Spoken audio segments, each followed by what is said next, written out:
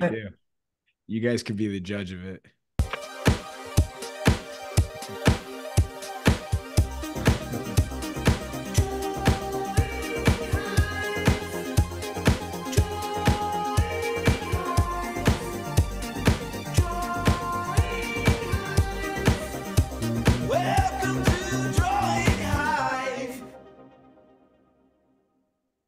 I could tell Francis liked it. He was Yeah, I was gonna say, God, Scott, shoes dancing to. Scott, you're just like dead eyed looking at it. I was I was mesmerized. It hypnotized me.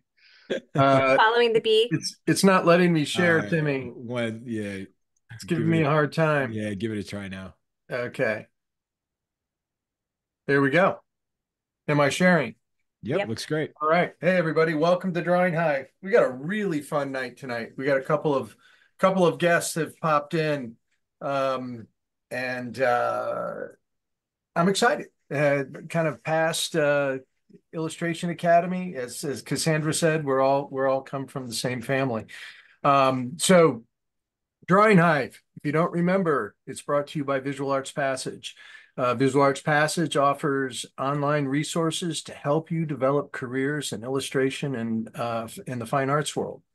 So this is going to be really good. I'm nervous about this because this is there, there's so much stuff going on here. First of all, the topic tonight is the movie Twisters, and uh, so um, we have there's some good reference here.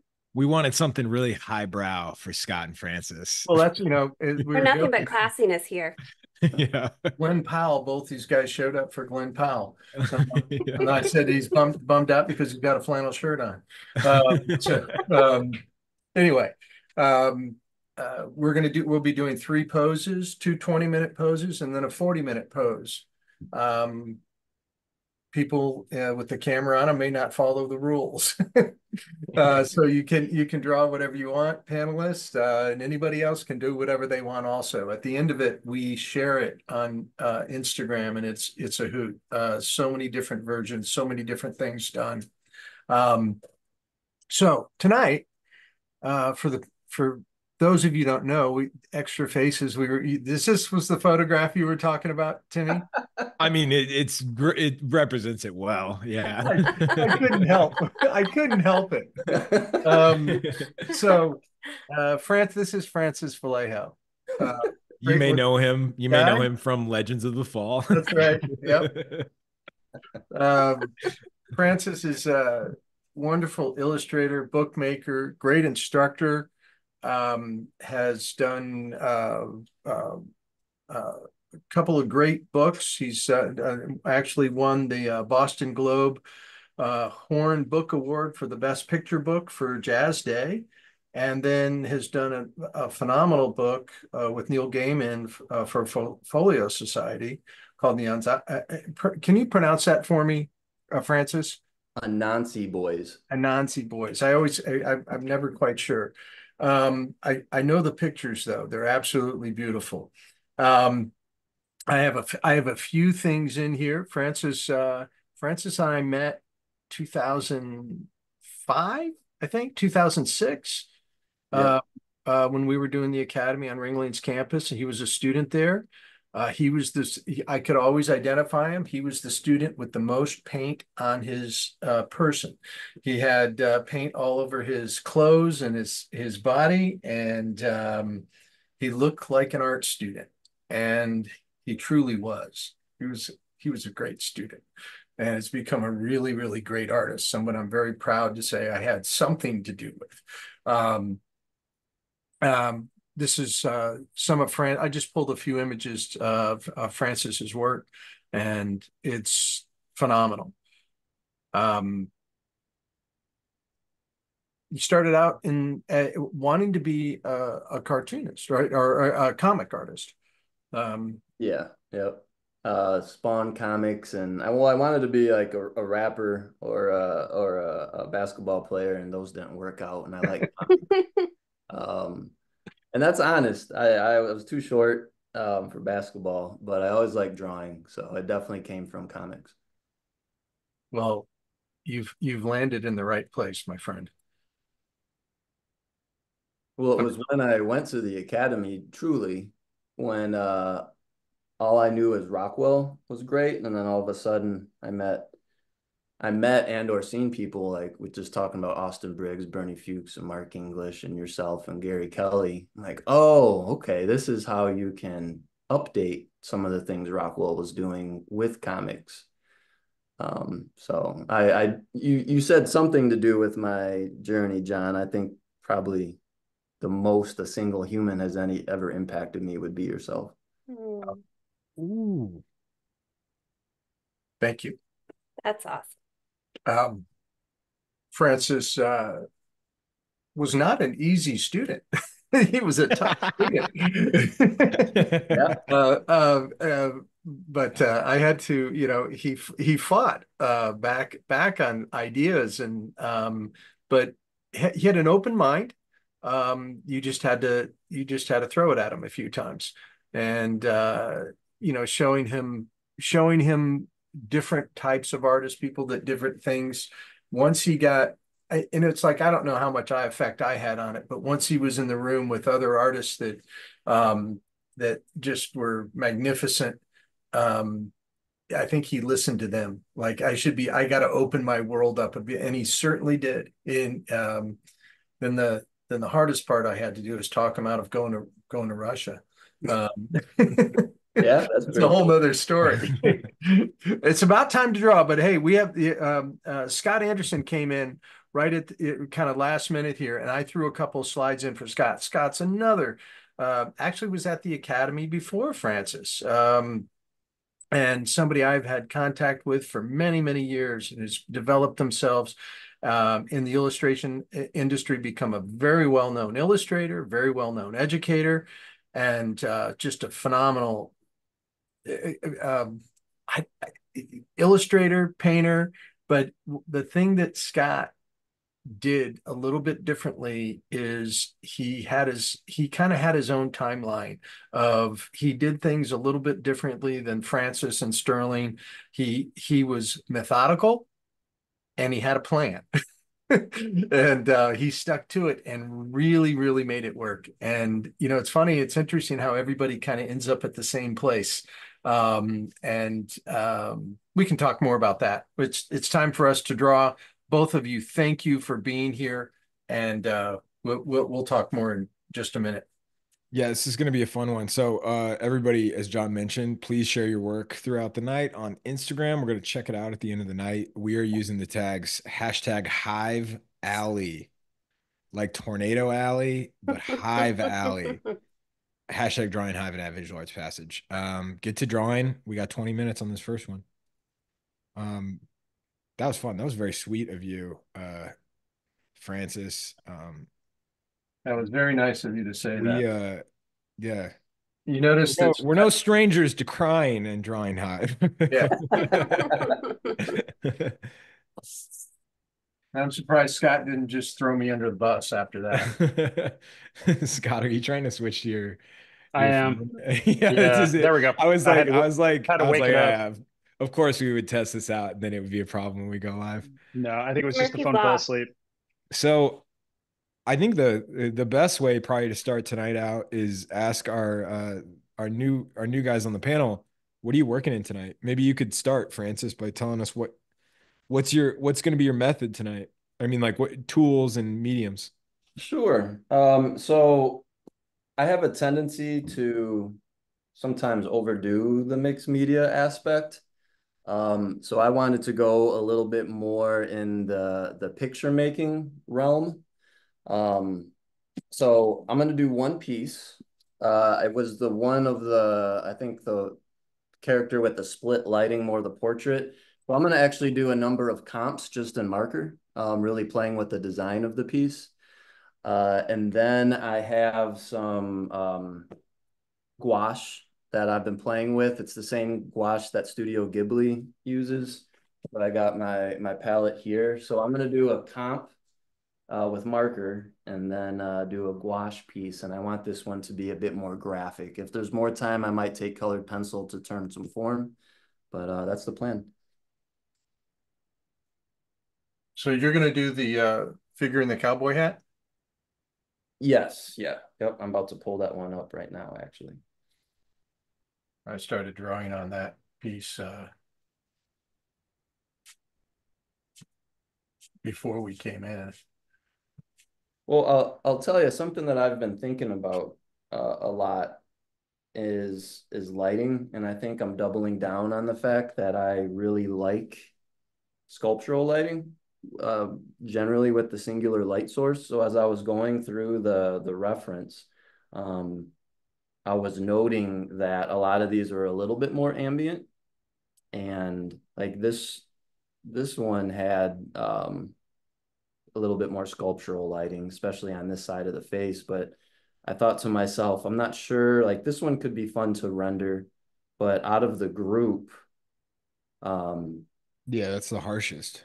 This Yeah. just the harshest. And uh, it's funny, you know, there's Andy Espinoza, who's a illustration academy person, and we were roommates, and he loves ambient lighting. Like he wants to turn the lights off. Let's just use whatever's natural in the room. And I'm someone that likes to turn the light on and put it right next to their face and find some like Mike Mignola shadow shapes. So For for people who um maybe are new to this and uh me, what what I've never heard of the term sculptural lighting. What is that? Could you elaborate on that? yeah. So boom, boom, boom, boom. Let's see. Is it just more like definitive lighting? Like just like you can really Yeah, because like my my face right now is uh is pretty ambient. There's not like a really graphic uh Mhm. light shape, but then if I like Yeah. put a light right on me uh Okay. like that, there's Yeah. gonna be much more of that. So I I tend to I tend to like that, but I think one of the realities of illustration is sometimes you have to use a reference that doesn't have those dramatic shapes. Yeah. Um Yeah, it's interesting because John, John, you know, we talked about this. Like, he was like, you know, it was kind of hard finding interesting lighting for this. And I was like, it's a movie about storms, you know, it's like overcast. Everything was overcast, you know? right. Yep. Yeah. And that's I, I thought to myself that, and as I've I, I tell my students a lot that whatever you're working with, it's your job to make it interesting somehow. So that's kind of the Wow. journey I went through to decide on what I was gonna do. Um, was how can I make these pictures, how can something in these pictures be interesting to me? So this is my goal. I want to try to maybe lose some shapes and play with some stuff. So bear with Yeah, me. it's kind it, it, it it's not it's not the same, but I think like cinematography, like it's kind of interesting because when people think of like stylized cinematography, they think of like really interesting lighting and I think you they take big swings on lighting. But then I, I was thinking about this this morning actually because of that because of this topic is interesting like a movie that I thought of that's very stylized but is all flat is like Children of Men. Huh, interesting. Hmm. Yeah, like uh, it, but but it still manages to be very like cinematically like raved film, right? I don't know. Just a thought out there. Uh Scott, what are you working with tonight? I know you can't see anything now because I'm sketching really lightly, but I'm just drawing with pencil on uh, tan kind of craft brown paper. Nice.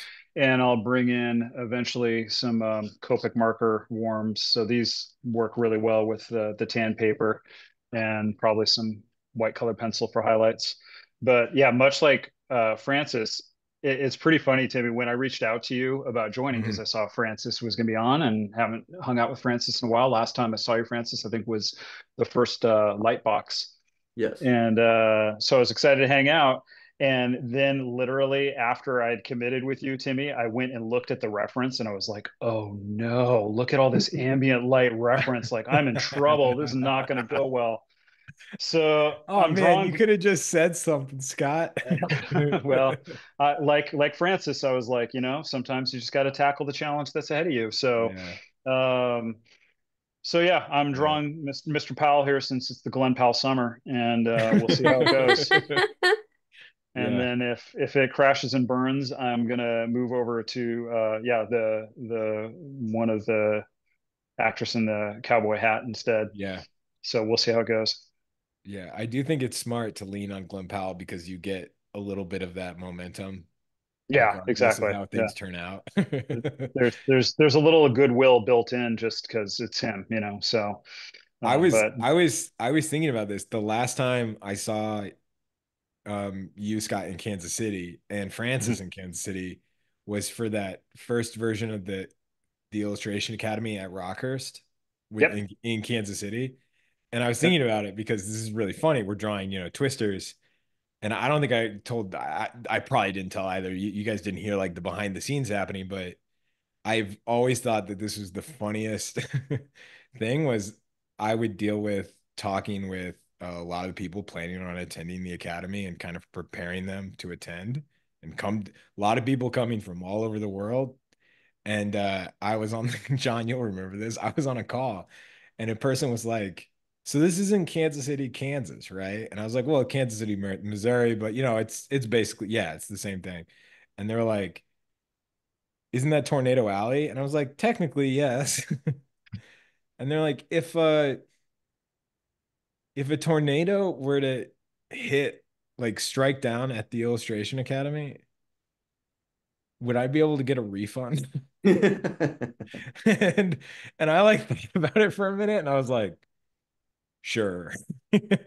like That's part I mean, the I've never. I, I've never seen a tornado in my life. I'm telling them that, like, I'm like, I've really never seen one. They're like, okay, well, you know, I, I guess you'll, yeah, you'll be dealing with my family.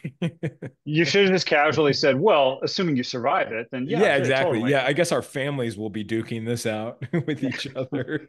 Timmy, Are you that's the, that, that, that's the same individual whose mother asked, God. uh, should my son bring a bathing suit? I was like, I don't know, sure, why not? Yeah, I I remember being like, "Yep, I'm a summer counselor. That's what's happening." as much as I don't want to be a summer counselor, that is my fate. It does have a summer camp vibe to it, I would Yeah. I would say. Yeah, You know, I the did. summer of '96 was the year that the first Twister movie came out, and uh, we went to see it at the Illustration Academy with C.F. Payne. Oh, that's a blast. We got, by the way, this is Adam on the line. Yeah, Ron. Adam, you got to see. That's great. Adam, I recently, Hey, I recently, I recently rewatched it. It holds up. It's fantastic. It does. Yeah. Bill Paxton is a, he's a, a lot of fun. So, um, wow, man, the panel is stacked tonight. Uh, the question we ask every week is like, what have you been up to this week? What is, what's been a, and it doesn't even have to be this week, but what's been like one of the big projects that you're, uh, you're currently tackling or just finished? Anybody want to go? uh, I'm still just uh, living in vintage train land with my latest book. Uh, Really? Yeah, yeah. It's got another another week to go. Well, two week and a half before the before it just needs to be done, done, the done, done, done. Adam, the cover looked really good. Oh, thank you. And congratulations on your shout out by the New York Times. Oh, yeah. Thanks. That was I I found that completely by accident too. I was I was doom scrolling and I happened upon myself. That's pretty amazing. I I was the one who told the pub like I posted and the publisher was like, "Really?" I I just actually Cassandra, I'm glad you said that because it's pretty wild, Adam, that you got mentioned in the New York Times this week. And I asked you what's been going on, and it wasn't the first thing you said. And it didn't come up, right? yeah, it didn't That's why I come thought I should mention it. I thought it was just Oh my God. respectful. I, if I got mentioned in the New York Times like two years ago, I would have mentioned it today. I'm the world's worst self-employed person. yeah. Well, it's very exciting. Congratulations. What yeah, congratulations. That's awesome. Yeah. Francis. I saw they had an Yeah. article about children's books about the Olympics, and I actually clicked on it, being like, "Man, no one asked me about my book about the Olympics." I've seen the cover, man. It's awesome. oh, thanks. Yeah, you were like, yeah, you're like the terrible New York Times. Right, uh, Come on, man. Francis- wouldn't- I feel bad about myself. yeah, Francis, what what have you uh what have you had any uh big projects that have you you've been chasing lately or wrapped up recently? Um, yeah, I think it's a huge transition part in my in my career. So broadly, um, I'm on a sabbatical right now. So I had from May until January off, which is which is awesome. Um, so I'm doing a big time restructuring of my of my career and where my energies are going. Um, and I think uh, I always enjoy. So hopefully this is um, worthwhile to mention. But when artists talk about like the the real life tribulations of it, of of just the art career, so this isn't a tribulation; it's quite the opposite. So I'm looking to get married in about a year, so that's pretty exciting. So I think. Um, as a result of that, I'm really thinking about the finances of this whole art career thing and, and how to restructure and organize things. Because up to this point, um, a decent chunk of my income has come from uh, teaching full time at the college, and I I think I'm curious where private art education is going, and um, I love it, but also I want to see like, well, what are the where where can things go from here? So um, I'm looking at mentorship, uh, speaking engagements, getting a speaking agent. I have someone helping me with that, so I'm working on the topics there. Um, I redid my studio to organize and to sell uh, more original pieces. I'm scanning in about 350 pieces. Um, I haven't posted much over the last couple years, but I've been pretty busy, so I have artwork to share and just to structure almost how Nicolas uh, Uribe sells his art is really inspiring. So trying to create that commerce side of things. Um, I'm signed up for a whole bunch of um, conferences and conventions. Um, and my my gal is going to be helping me a lot with that. Um, and then, you know, trying to choose the right projects. Um, so I'm I'm doing something with the publisher now that I, I can't really talk about. I have to remember this is going on YouTube. Um, but yeah, I, I think just holistically, what does illustration look like in the next 10 years? Which is everyone's trying to solve that. And I'm um, trying to get to a place where my family, my incoming family can be set up nicely. Because um, I've made a lot of decisions up to this point that are very personal and bleeding heart artist like.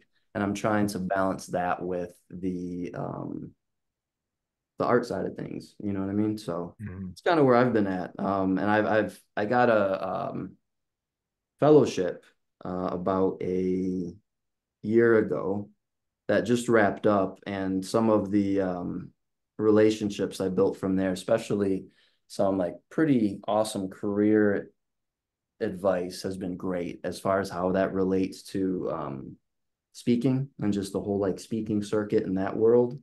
So if you see me at like an IBM conference talking about why creativity is important, um, that that uh that is kind of the the goal. So yeah, that was that was a lot, but you know, I'm trying to I'm trying to see where things go. That's exciting. Congratulations on um, getting married soon and all those big changes. That's a that's like a lot of exciting stuff for you. Yeah, somehow I'm almost 40 years old. I can't believe that. I don't know how that happened. You're, almost, you're almost 40? Oh my God. I'm 38. You're 38. Well, that's. I mean, 39 in the, you know, two You months. look like you're in your 20s still. You I'll have the, it.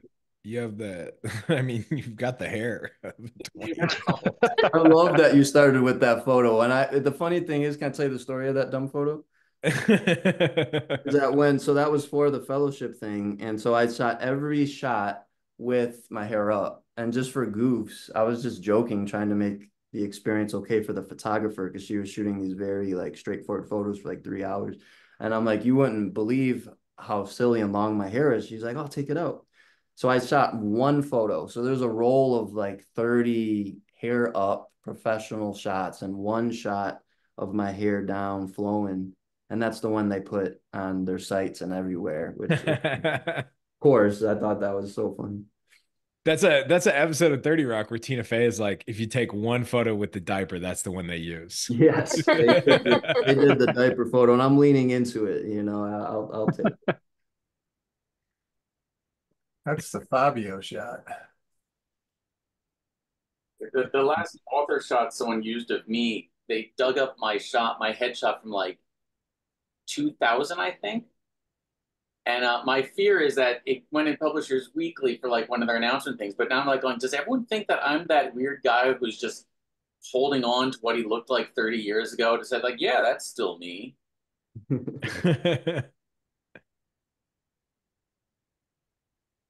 You know, like like how uh, you know actors in the 80s always had their headshot from the 60s.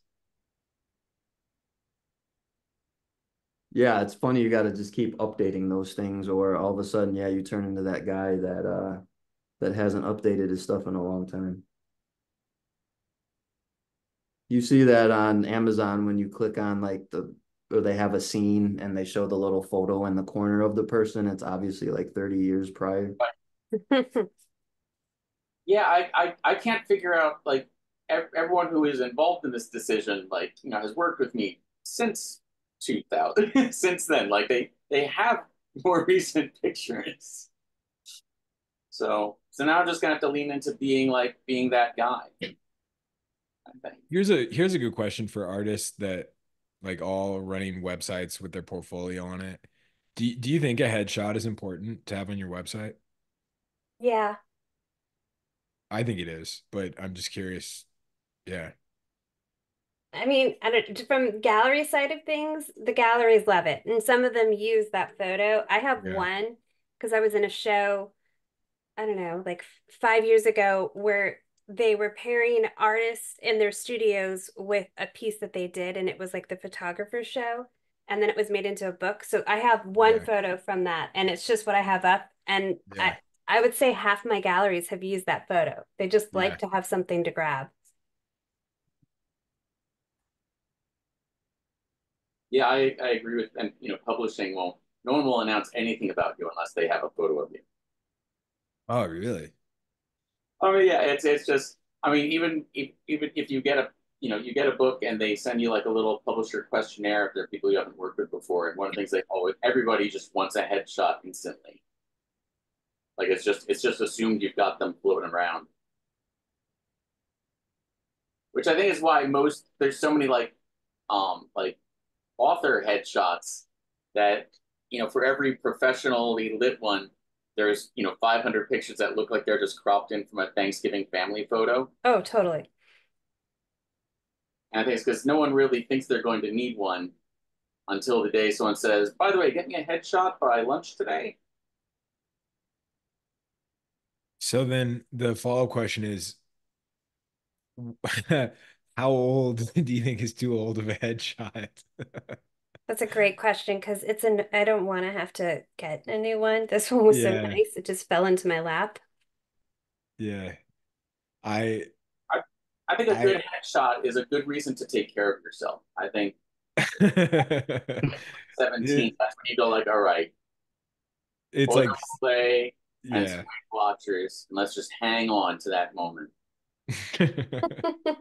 I I had a meeting with somebody and it used to be I had a photo it connected to my Zoom account because we started Zoom we used Zoom way before it was a pandemic trend. You're so we were using hip. it You're so hip to me. we were using it we had a Zoom account when it was in 2016 and they had an office in Kansas City and you I could call the guy. I had a I had a guy. I had a guy at Zoom. And anyway, my headshot, I didn't know how to change it. And it was a photo of me from like 2010. and I had a meeting with a student. And when I turned on my webcam, they literally were like, whoa. and I was like, they like literally, they like acted like I catfished to them. It was so, it was, it was so upsetting. Um, man, Francis, I'm going to spotlight this. This is cool. Oh, thanks, man. The lighting is hard. I'm got I got little faces underneath to figure out those shapes. The nose area, I think I botched, so I'm gonna keep playing with that. I'd love to know what you how you're using those little faces below. Like how does that play into what you're doing? Um, I'm gonna try different shapes. I think like that is decent, but then if I iso isolate that, that's a little too much. So I'm gonna retry the light shapes here, but I'm just trying to figure out the general design, um, how I can lose some stuff. Uh, yeah, I think I think the name of the game for me moving forward is um, how can I simplify things more? Yeah. So like how, like all this stuff in here, um, I think is is too much. And I think I even like some of these shapes probably don't need to be here. So like I every time I go through an iteration, I'm gonna try to ask like how can I lose some lose some stuff. Um, that's really interesting. Uh, we're gonna move on to the um, for those of you listening in, we're moving on to the next image. Please post your work to Instagram. It's hashtag Hive Alley, hashtag Drawing Hive and Add Visual Arts Passage.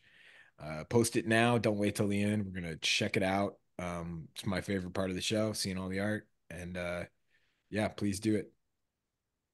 I was really bullying the people on Discord to ask questions. And I think this is hilarious. I was like, come on, people. This is a good night for questions. Bring on the questions. First question. A real a real softball question. How you guys feel about AI? just I don't want anybody to get in hot water or anything, but uh because it's a divisive topic. It's uh but uh one thing I will say is Francis, you were the first person, and I I, I almost asked this earlier. This is six years ago, maybe seven years ago. You made a Facebook post. It was before we were make it was when Facebook was still a platform you would make a post on. And it was about uh you described AI as it is today. And you said, like, imagine what the industry is going to be like in like seven to eight years. Do you remember that? No. You don't? I remember reading it. I remember reading it because you were like, I think you're going to be able to type out artists, and you described it to the T. I wish I could find it.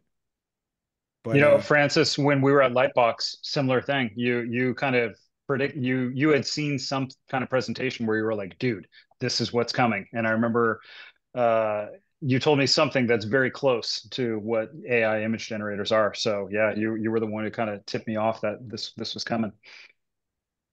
I I remember, yeah, definitely seeing some stuff that was pretty gnarly. Um, yeah, and it's I'm at the point where I just kind of assume like anything can be done, especially once 2030 hits. I, I think maybe what helped is like four years ago, um, the college I teach at, CCS, they um they had a grad that was the head technology officer at Microsoft. So that person uh, visited the college and um anything I said, said probably was just regurgitated from that presentation, but they predicted some wild stuff.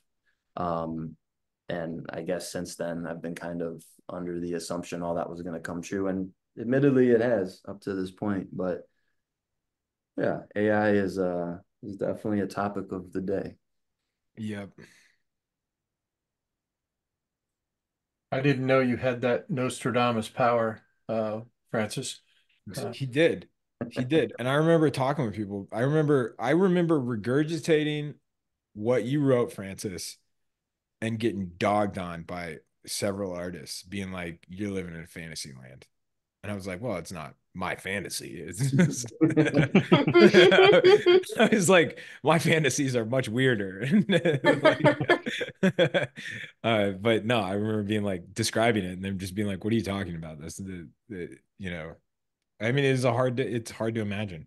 Sure. It, Sure. it it's very um yeah. Anyways, I was Um, right before this, I was talking with um someone that I'm working with, and they were composing a uh, a piece, and uh, we're talking and looking at a Rockwell, how every angle, everything in the composition was basically pointing towards the focal point, and Yeah. that led into a conversation that that's going to be awfully hard to automate. Uh, and and you know, there's obviously AI bros right now is like you watch, right? You know, but yeah, um in general that level of consideration throughout the process of of the picture and picture making wise because craft is a whole nother conversation but picture making wise i think is where a lot of um a lot of, of value can be drawn which is i'm excited Mhm. for because if if there's going to be a major emphasis on like composition and, and avant-garde um image making uh i'm excited for that i'm here for that um Yeah. because craft is definitely getting a a um kick in the butt right now yeah. I like how you refer to it as picture making. It's my favorite way to explain what we do.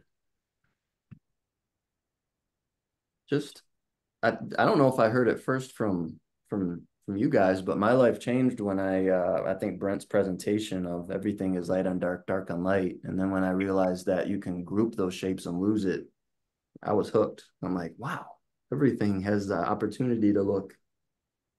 And when and like Heindel, right? How Heindel would lose everything and stuff. You know that that's that wasn't just like a pretty picture. That was this intellectual game that just rocked my world and still does. You know, if I could ever think and get my brain to see some things like Heindel did, uh, I'd be pretty excited about that.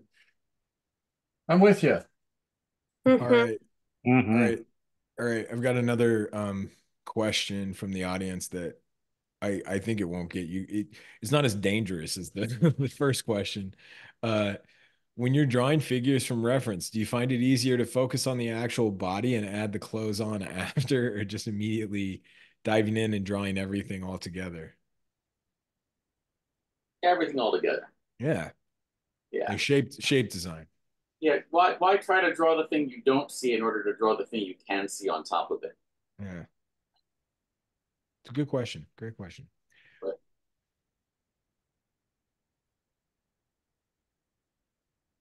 John, everybody wants to see what you're working on. I'm keeping my camera off until I do my educational thing, Timmy. Do you want to jump into the educational thing? Yeah, that's my that's my All That's- right, that's my new thing. let's do it.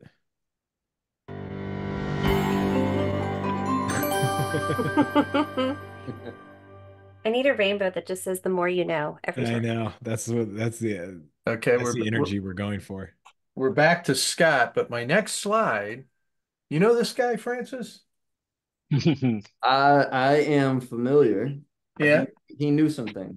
he knew some things. He knew a lot of things. Um, he's one of the he was uh incredible. Pro probably would you say he was the most well, he was the most famous 19th century Russian painter. Um, Yeah. and so many things came from him. Um, uh, born 1844, uh, a realist painter. Um, I guess today, I mean, he ended his life. I guess it would be in Ukraine today. Um, but uh, magnificent artist. And uh, Francis, anything you want to say about him, you're welcome to, because I know you know a lot about him. So Uh, he he was part of the uh, itinerants in Russia, which is really fascinating because, uh, of course, in conjunction to that movement was the um, what was Klimt's movement called? With uh, Vienna secession. Yes, thank you. Yeah, I believe there was a similar time period where artists were kind of frustrated with who was commissioning them.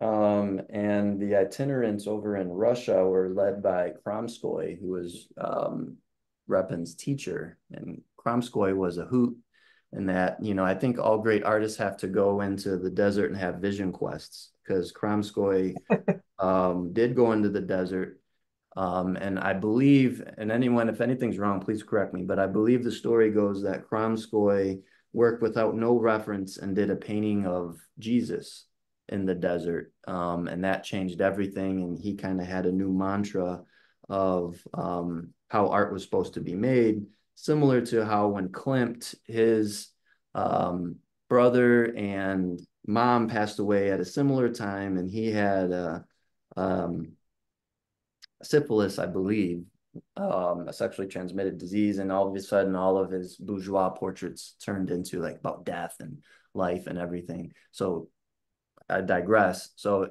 anyways, this big, you know, most spiritual moment happened, and Kramskoy started preaching about new way making art. Um, and so Repin was his sort of pupil at the time. Um, and I just love that story. If you want to look into the itinerants and all the stuff that they were doing, as well as the Vienna secession, is really fascinating. But I think I got into Repin because um, Rockwell has always been my favorite, and his level of exaggeration and sophisticated composition with figures always killed me. And um, Repin the barge hauler painting he did when he was in school. I have it in here. Oh, awesome. Yeah, that that was his like senior thesis. And then his painting, um, it's the signing of the I forget which document where there's the two, like, I don't know if they're warlords, but like signing a document and everyone's laughing around them. Um, he I think we see a lot of paintings where there's like high craft, but there's not a lot of expression. Um, and it stuck out to me like, wow, like that's something that Repin and Rockwell did really well is they had this craft, but there was acting and it was all about um, be going beyond just the portrait. So um, I'm a little rusty on some of my Repin history, but those are some things that really stood out to me. Um, and John referenced it earlier, but I was a very um, self-conscious art student. And uh, when I left the academy, I applied to go to what's now called the Repin Institute in St. Petersburg, Russia. And my days of wanting to go there might have passed. Um, but I was I was accepted, and I was committed to doing six years with the end goal of working in Repin's former studio, which is only given to like the top student. Um, that's where my head was at uh, at that time. But I'm much more comfortable these days just hanging out in Detroit in my studio. But um, Repin's great. If there's anyone in the in the this group that hasn't done a deep dive, I do want to say there's a lot of bad reproductions of his work online. So Boy, I, I was going to mention that. And, you know, when you're looking up his work, you got to be really careful because so many people have done like master copies of his work. Yep. And they post them, and it's very hard to discern uh, what's his and what's it, what isn't. Yep. And a lot of his pieces are really browned out either from bad photos or from just aging glazes. Um, so I, I have a photo or a folder of photo corrected Repin. I love that piece. Um, imagery. So if anyone wants me to send that to them, um, shoot me an email and I'm happy to do that. He's he's so good. If you like Rockwell, you're gonna love Repin. Like I I have a, a lecture on this piece. I think this is a version. There's a different version of this piece out there. He did a couple. Um, and just I, I like having my class ask themselves like what's each character thinking because there's another version where a male is walking in the room um and it's like oh is that the dad that left and has came back or did the dad come back from war and depending on which figure you look at and like what the reaction is to the person you can kind of get a different read on it um so yeah i digress anyway but yeah Repin's awesome Thank you very much. This is the piece you were talking about. Mm. That's the study, yeah Wow. one of the studies. can you can you stick on that one for a second john Sure. just look at look at the storytelling there i love it just the the fella looking right at the camera just like an fu to the world you know? He used to be that kid that's standing up um still has you know paler skin isn't burnt to a crisp. Uh, the guy in the front almost looks like he's just like right waiting to die.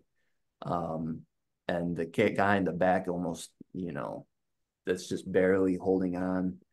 Um I don't know. That, just can I can you imagine doing this for a senior thesis and just the number of studies and the reference um, that went into into this piece and it's probably what half scale. I've seen I haven't seen it in person, but I've seen photos of it and it's very large. I can't imagine seeing it in person. I hope there's a way to get to Russia or somehow to see it that's reasonable for an American because that'd be a killer piece to see. That's Francis. This guy, these guys up here. That that's Brent and I after the academy.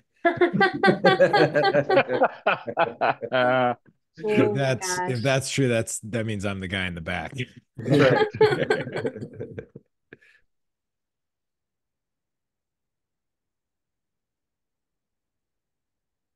That's killer.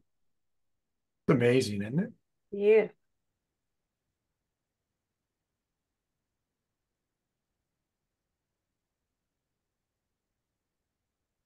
This is not a good rep. Uh, this is one I wanted in there, but I could. I, this has a lot more color in it. In the, uh, I saw Um, again, I don't know which one's right, but I saw I, I in a book, I, I remember this piece was had a lot more like yellow ochre through the whole piece. But I just had to put it in there because I love that expression. The, and just the kid in the background and the Yep. person in the window, those are just such powerful little details. And just the hierarchy, just the big light shape on a dark.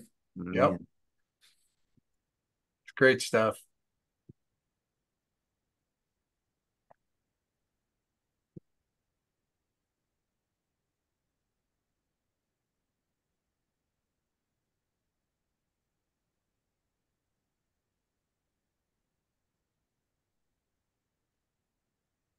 That angle, I can't imagine painting the angle of that that one there and keeping that vibrancy. That's killer. Yeah. I, my head would be tilted the whole time I worked on it. Yeah.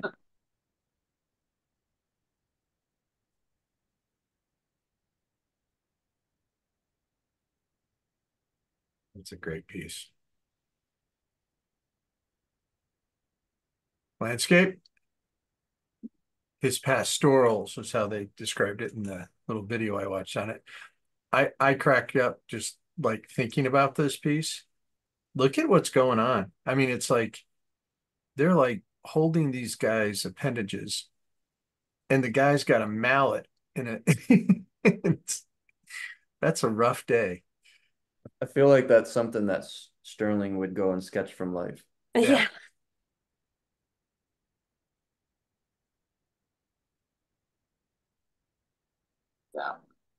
That one's wild. That one got him in trouble too, didn't it? Um, I think so. sure. It would make sense. it got pulled from a show. Anyway, if you don't know Repin, take a good look. You can't go wrong. The reason for me showing this is just to expose new artists, people that, you know, contemporary painters. I, I'm sure that spend a lot of time going back and looking at at, at artists from history, and um, it's important to do. Self portrait. Handsome devil. Yep. Just like you with a little shorter hair. Um, all right. Well, that's that's that's uh, uh, uh, Ilya Repin, and I just wanted to to uh, share that share him tonight. So Timmy, back to it.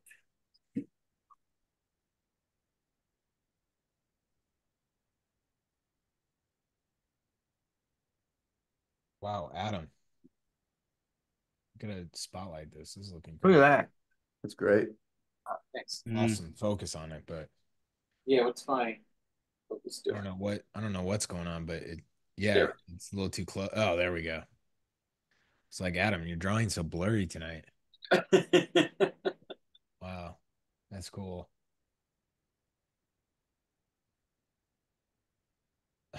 Nice. I I knew I knew you couldn't you couldn't get away from the the Powell orbit, Scott. That's great. So what do you what Thanks. what are you doing now? Are you just jumping to those markers or is that the right word? Yeah, yeah. I'm just uh they're pretty light values to start with and it'll it'll eventually deepen, but just uh, you know, still trying to make sure triple checking all the shapes and stuff and as um, Francis had talked about earlier, you know, I really too prefer really strong lighting, strong shadow shapes, you know, real structural. And so this is just so diffuse. It's it's forcing me to try and strengthen some and kind of create and invent some shapes, you know, to to have something to work with. So I'm just trying to give myself enough uh enough room to make corrections before you know I get too committed. But I I'm now on a what is it? It's a four value, so that's starting to darken things up a little bit more. Yeah. Time to time to commit a little bit.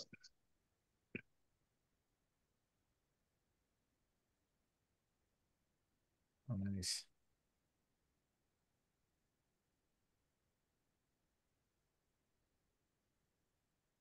Did Oh, we finish sharing what everybody's been working on? Yeah, that, I'm actually going around the room right now. It's pretty great.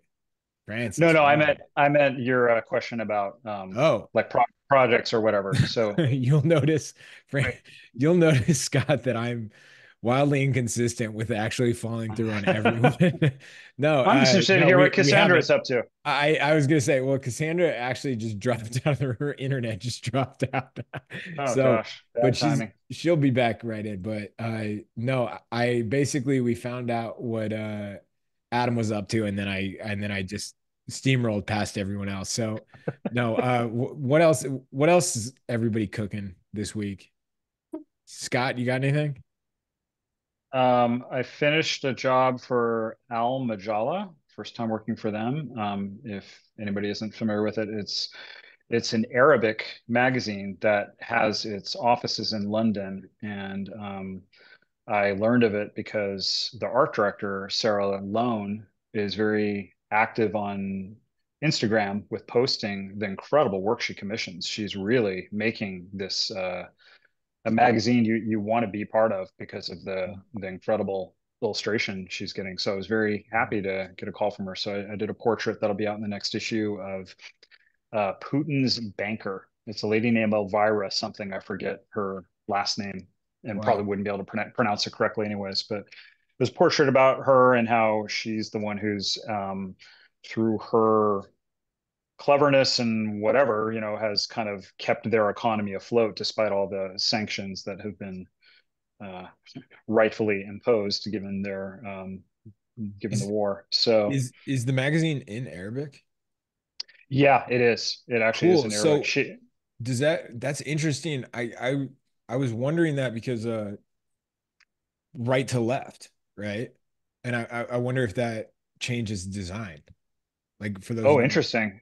Know? Yeah, I don't know. I honestly, I didn't even. Th- I, I'm not aware of that, so I didn't even think of that. Um, I mean, she she gave me a very specific layout to work with, and it was just basically a portrait. But um, yeah, she was great to work with, and I'm excited to see how it all turns out. The the, the design layout she showed me looked really good, Yeah. and then I had a really unusual job right on the heels of that. Um, for there's an art director duo for any illustrators out there or aspiring illustrators who are watching this.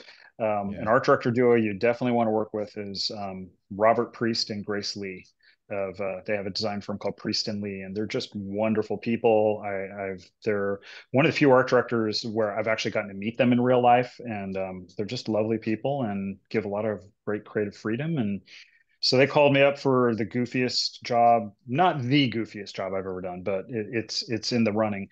Um, it was a feature as best as I could surmise. I think it's a feature in for it's for Forbes magazine coming out in the next issue. And I think it's a feature on the founder of Jersey Mike's. I think that's like the main article. Yeah. And then this is like a little sidebar of um, it was like six classic sandwiches. So that's all they wanted. They just wanted me to illustrate sandwiches.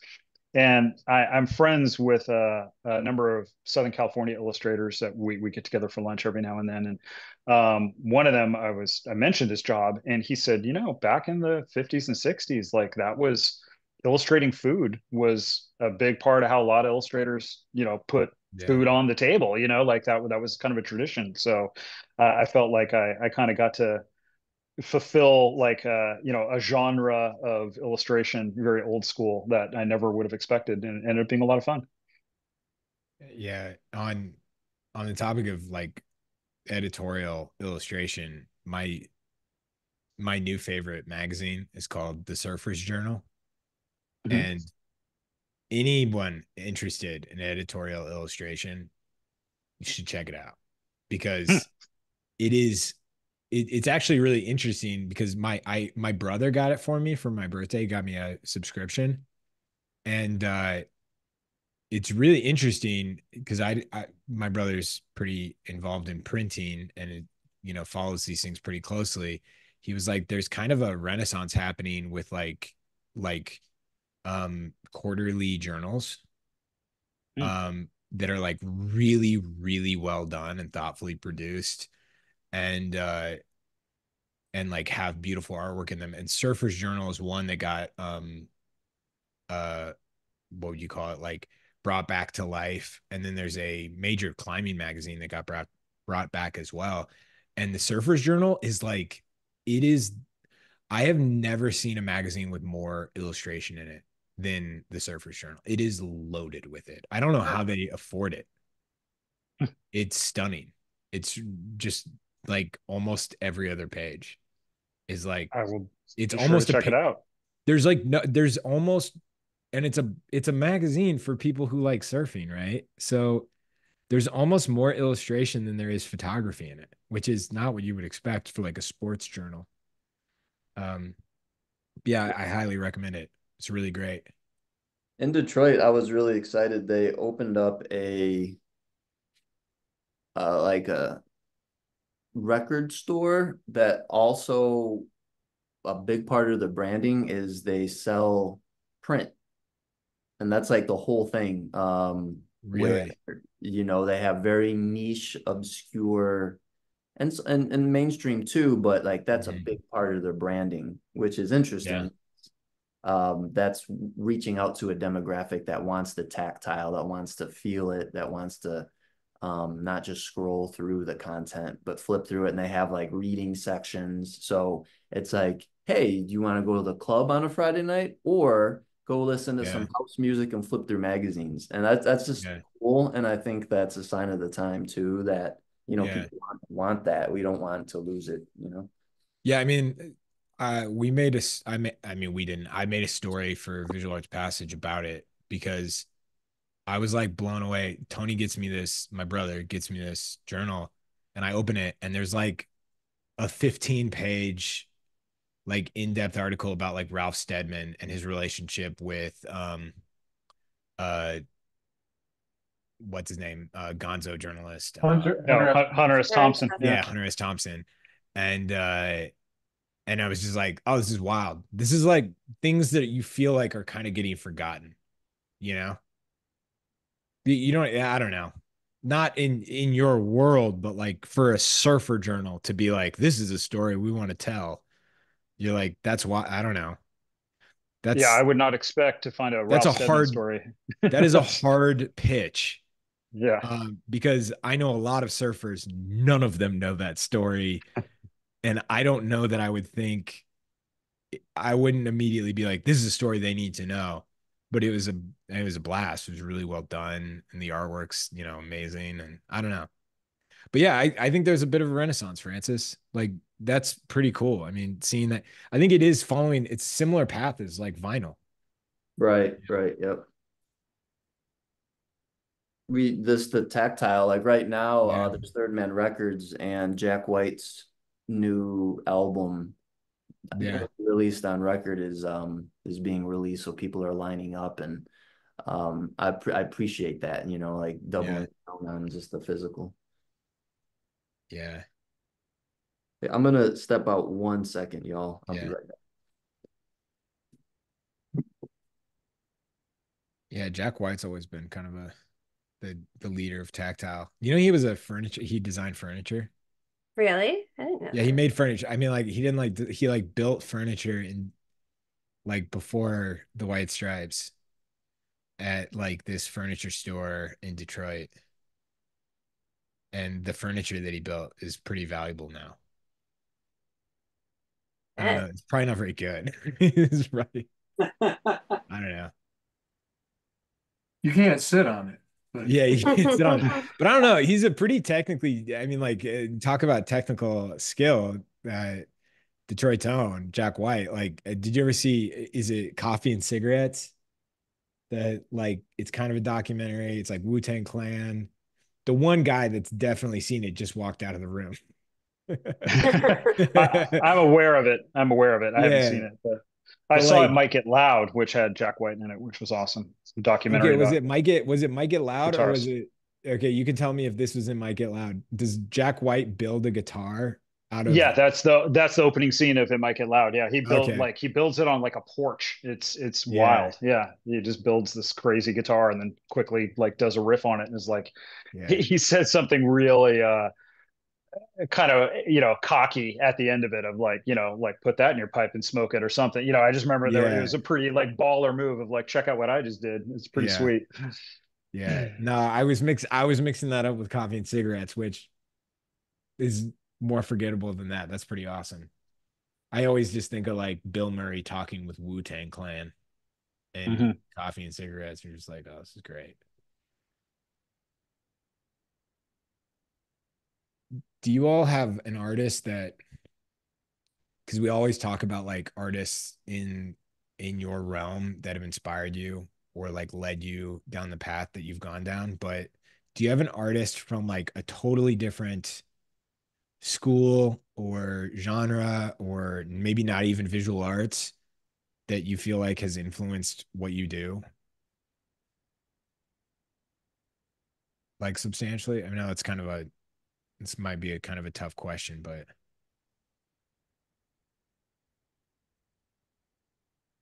I I've listened to not any one particular um well just a couple um Billy Joel um Elvis Costello and Bruce Springsteen talk about right songwriting music writing Mhm. and you could literally it's more so that with Bruce Springsteen than any of them you could replace picture making with songwriting um when they're Oh, talking really? about like abstract design theory and how how composition and design works. And it that I always thought was really, really interesting. Yeah, I remember hearing an interview with Bruce Springsteen around the time his memoirs came out, and I remember thinking the same thing. Like, it was as as a visual artist, it was really, really relatable. Actually, almost more than it was as a as a musician. Well, Mhm. you're you're both, so you would know more about it than me, but just I just thought it was just a really good explanation. And he and it wasn't uh it wasn't technical. It was Right. it was it was very uh simplified. And it was just a fantastic explanation of what you think about when you're designing. Mhm. Um, everyone, we're gonna move on to our longest pose of the evening. It's uh hashtag Hive. Please post your work to Instagram. It's hashtag High Valley, hashtag Drawing Hive, and at Visual Arts Passage. Um, please share it. We're gonna check it out at the end of the night. All right.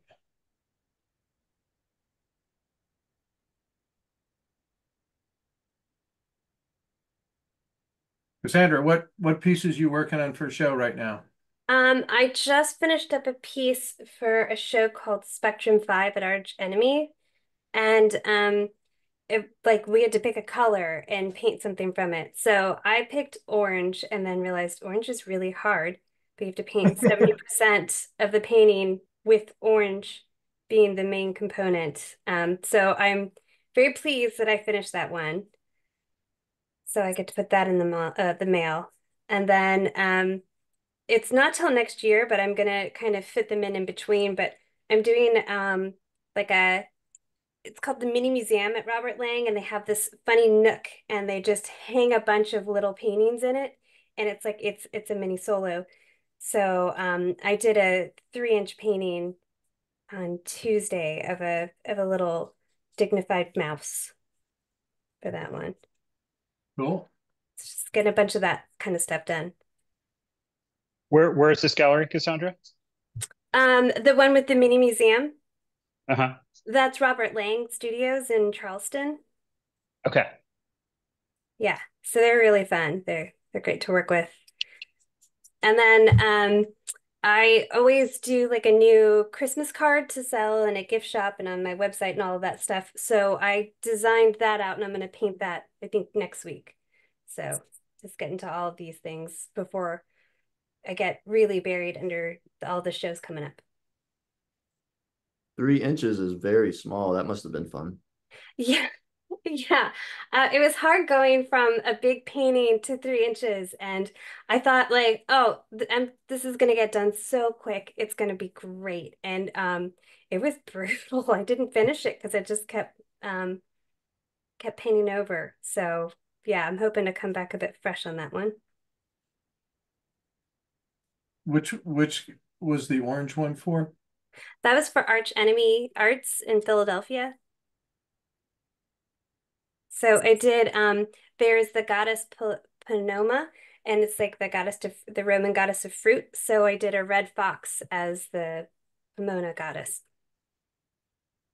Because I Hmm. think lots of harvest tones with orange, so that was fun. I Wonder how many portraits of Trump they got. Oh gosh. Well, no, um, like so all the artists like you submit what color is your top choice, and so they're Oh, hoping to hang a rainbow. So I don't Wow. know if there's any other oranges besides me. that would be a pretty wild rainbow. Yeah. Um, I have I have a question for Francis, but I've got a question for the group that they can you can all uh, let this soak in and think about it while Francis answers. Um, somebody asked for I want some art book Rex. So uh, everybody start thinking about art book Rex right now. Francis, I had a question for you about you went on this pretty grand like expedition to Alaska. Was that two years ago?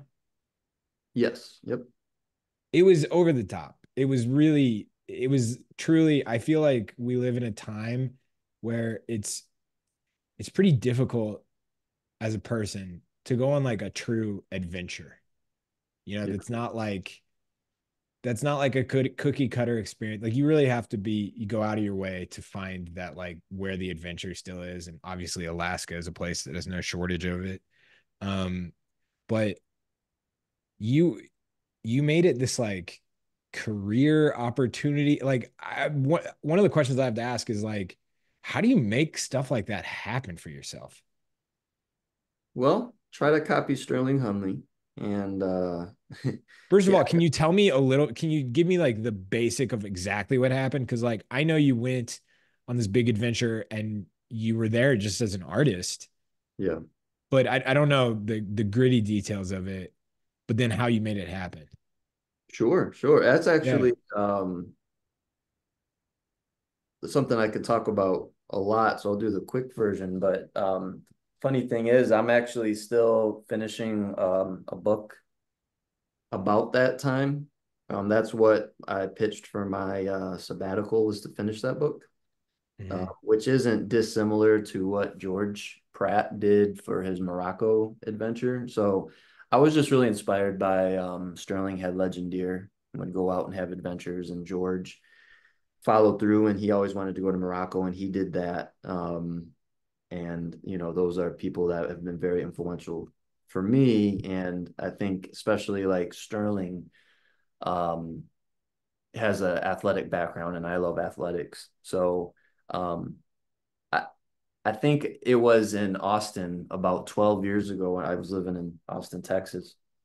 Um and um my buddy Andy Espinoza was starting to look into residencies and he sent this one. He's like, "Man, I don't want to go to Alaska, but you you I know you, this might be something you're into." So long story short, they had a residency program um, called Voices of the Wilderness, where um, you know you you go in the wilderness with a, uh ranger that has a rifle for the bears, and I'm like, wow, I've been sitting in my chair. I was working on a comic project at the time, and I've been sitting in a chair, um, pretty isolated, not moving a lot for a while. Um, I was thinking about some adventures, you know, Sterling had talked about and other artists and like Frederic Remington going out west and this and that. So I'm like, this could be a fun opportunity. Um, I was also, I was raised in the city. I'm in Detroit now. I've always been pretty city guy. So I'm like, this will make me pretty uncomfortable, which was appealing in and of itself. So I did one in Sitka, Alaska, and it was great. It, it completely changed me, made me appreciative for everything that I've um, that I have and take for granted, like running water and having a bathroom and all that stuff. So, anyways, um, I felt that again uh, about two and a half years ago. I'm like, man, I've just been really solo. I was coming out of COVID, like a lot of folks, and I'm like, this is about time for another adventure. So when I signed the form on which wilderness I wanted to go to, they had one that said you had to have a high level of fitness because of just the amount of walking and traversing precarious landscapes. I'm like, cool, that could be a challenge. Um, and it was the most desolate. And I'm like, wow, okay, I did it once. Let's really go for it. And and they picked me, and Um, it was my job, not so much, they didn't care as much about the art that I made. They cared about could I bring Alaska back to my community because um, they receive a lot of people like coming from Montana and Wyoming and Maine um, that do adventuring things, people that just kind of have adventures in their background. Um, that's just, you know, the type of person they are, but they have a hard time bringing people more from the city into Alaska. So they're like, we don't really care about the art you do that much. Um, but you know, we know you have a connection because I teach and whatever in the community I have here. So could you bring that back to Detroit? I'm like, sure. So um, the experience was I, I was hanging out with um, about 12 biologists or so, and they were running walking transects mile at a time up and down the northern Arctic coast, studying birds and small animals. And um, I documented it in my sketchbook, very journalistic style. Looking I even pitched Robert Weaver's like baseball drawings. Um, they're like, sure, that looks cool. Um, in a sketchbook, and uh, I've done about six talks around Detroit um, about that experience, and I'm I'm gonna they they're selling a version of the the book already in their stores, and I'm gonna make a version that I own the publishing rights to that I'll just sell at the conventions that I had mentioned earlier. But the thing I'm particularly most excited about is I'm working with the city of Detroit to sponsor um, some Detroit young people to go to Alaska and to experience the things that I experienced. Um, because I mean, I remember growing up here, sometimes you just don't leave a couple square miles and, and there's a big world out there. And that was profound for me to leave to leave to Florida, go to Alaska, etc. So anyways, um, that's the goal is just to get some some kids up there and I'll art direct them as they um create the art. So combining art and adventure um, is the goal. So that's the semi long short version of everything. But it was awesome. And if anyone is interested in um, combining adventure, there's a lot of residencies out there across the world that can really accommodate that. So feel free to hit me up. I'm happy to talk your ear off about it. National parks have great artisan residencies like that. Absolutely. I did one in Alaska too. It was, I loved it out there. Oh, where in where in Alaska? I did the uh, Chilkoot Trail. So it was two weeks backpacking on the trail and just painting from there and just holding workshops and stuff. Amazing. That's awesome. Yeah. Yeah, residencies are the best. They tend to be seen as a kind of like a fine art thing, but um, illustrators can absolutely uh, apply to them. And many re uh, respects, I think illustrators could even thrive better because it's all about like, what can you carry with you and doing art quick under interesting circumstances. So I think it's perfect for illustrators. Agreed, for sure. That's so special. How long was it for? Um, so it was going to be out in the field for 10 days, but because of the wildfires, it was only, I think, like six days. Um, which was an eye opener because I mean it was global warming. I mean, there's wildfires and fires are natural, but to the extent that they were, um, was global warming influenced. So we was had at another level, kind of than what they normally have. Yes, yeah, they were pretty intense. When I got there at like 12 uh, midnight and it was 24 hour sunlight, but it was so smoky, the sky was red. So I felt like I was landing in some sort of like Mars landscape. It was oh my gosh. Um so you know I, I actually I spent those days just waiting for a helicopter um, clearance because the smoke was so heavy. So I just kind of walked around and sketched around Fairbanks, which was awesome, and I have a lot of stories from that. Kind of made it in the book too. Um, so Alaska is great. People are amazing in Alaska. They're, they're survivors, and the things that would make a lot of um, or some people uncomfortable um, is just part of the daily life, which is cool.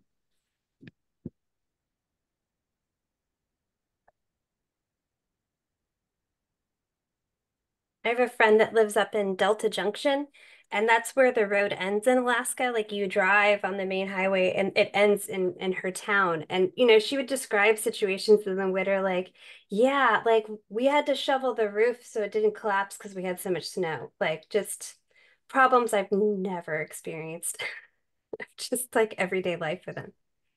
Yeah, it seemed like the way that we get around with cars, I was just struck like everyone had some type of plane or knew someone with a plane. Like just the amount of people that would just get around because things are so desolate. I'm like, wow, that's just kind of daily life, you know?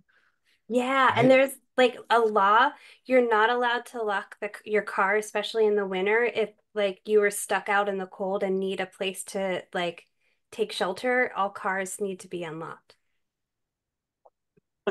really, Yeah. Yeah, that's wild. I was I would on definitely be a law.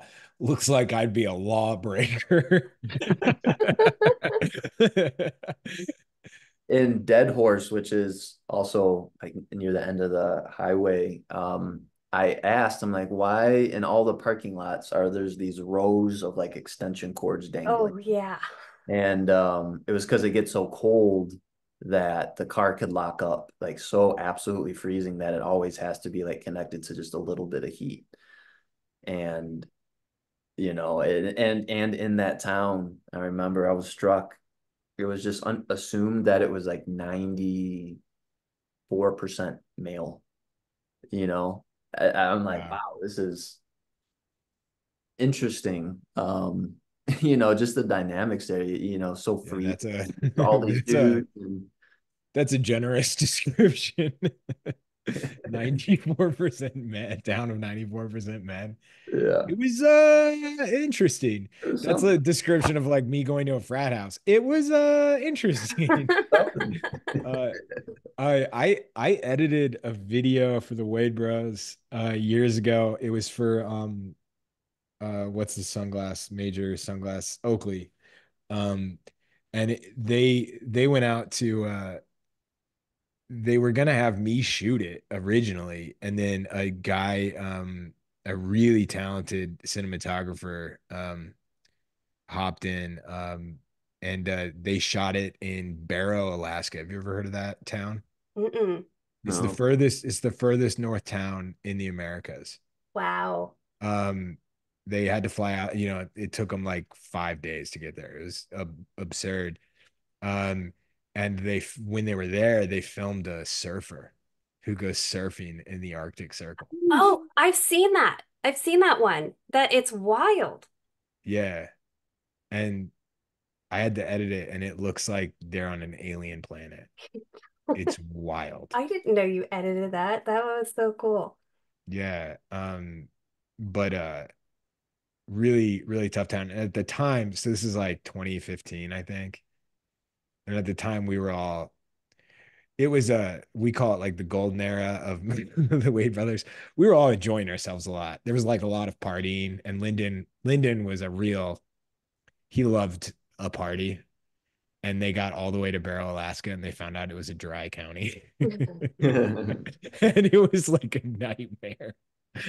Uh, so I was glad I wasn't there because it, it would have been I would have handled it well today, but I think the 25 year old version of me would have really um been uh upset. I would have been like, oh, me and my bros, we're going to Alaska, we're gonna party, we're gonna have fun. And then you get to this. I mean, it's like pretty like it's like a true de- it's a town set up for a true detective. Like, yeah. It's it's un unbelievable. Like when you you you guys describing those parts of the the country and and having the chance to be there, so few people get to see that. Or like it's so uh isolated. It's it, It's it's so unbelievable. beautiful. I will say though, the mosquitoes are insane. I heard they're like dinosaurs there, and they really are. Yeah. Could you handle the isolation though? Like could you like let's say let's say magically you can you can support your career and and it can it can work, but you're gonna be working in in a town like that, like a isolated a town you got to take like a weird mode of transportation to get to. Like a it's like a, oh, you got to get on the snowmobile or the, or like the the whatever the water plane. Wait, do you think you could handle the isolation? Is that like kind of an illustrator's dream, or does that sound nightmarish? Like I I I love going to isolated places. I went to this island also called Grimsey in Iceland that's in the Arctic Circle and only 70 people live there and they've been living there since like Viking age. And so I got to like stay with um with the family there and they really showed me what it's like to be in those isolated places. The whole Mhm. island is their family. And they Yeah. were showing me pictures through the decades of like what they do on holidays. So to me, actually, it felt very comfortable because Mhm. you have an opportunity to really just know your neighbors and lean on your neighbors in a way that we kind of have lost, I think, more in the more Yeah. like populated areas to the level that they are. I I love a small town that you know it's it's a type of town that doesn't really exist in a lot of places anymore. But like I think of it like the Stephen King town, like the it's a small town. They've got a small movie theater. They've got all of the cool things, but everybody still knows each other. hmm It's So I think if you like your Yeah. neighbors, it's probably wonderful. If you Yeah. don't like your neighbors, it's probably horrible. I, I that's like a meme that it's like it's like every town. It's like the the meme that I'm thinking of is it basically Scott. It shows like a photo of Santa Barbara, and it says like mm-hmm. like a the landscape of Santa Barbara, and it says like every band in the '90s was like, we got to get out of this town. You're like, what the hell are you guys talking about? It's a great town. That's funny. Yeah. Like the, the yeah, like escapism rock. Like we got to get out of this dumb town.